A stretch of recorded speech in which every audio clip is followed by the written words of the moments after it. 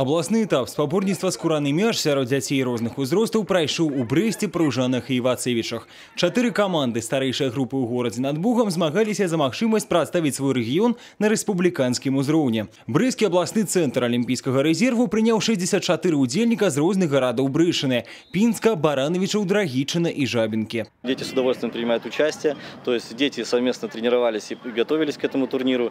И, скажем так, э, для детей, э, вот когда их спрашиваешь, разговариваешь с ними, им это все очень нравится, потому что футбол в Брестской области э, в данный момент набирает огромную популярность благодаря успешным выступлениям клуба «Динамо Брест». Так что у нас есть кого брать пример, и дети с удовольствием играют в футбол. Галоўная мэта такіх спаборніцтваў прапаганда спорта і здаровага ладу жыцця. Менавіта на такіх турнірах і запальваюцца новыя зорачкі беларускага футбола. Мы настраиваемся только на победу и хотим выйти на республиканские соревнования. Было две игры в Стольне, мы их выиграли.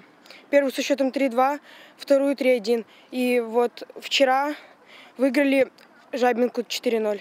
У мінулым годзе каманда з Драгічына атрымала перамогу ў трох узроставых катэгорыях на абласных гульнях. Юныя футбалісты не панізілі планку і зноў сталі лепшымі ў вобласці. У фінале яны мінімальна перамаглі каманду з Пінска 1-0 финальную часть этих соревнований отобраны уже лучшие команды. И, а в эти команды, соответственно, отобраны лучшие дети. С каждым годом уровень команд э, повышается. И это заметна работа на местах. Пераможцы своих узроставых груп у хуткім часе прадставяць вобласць на фінальным рэспубліканскім этапе.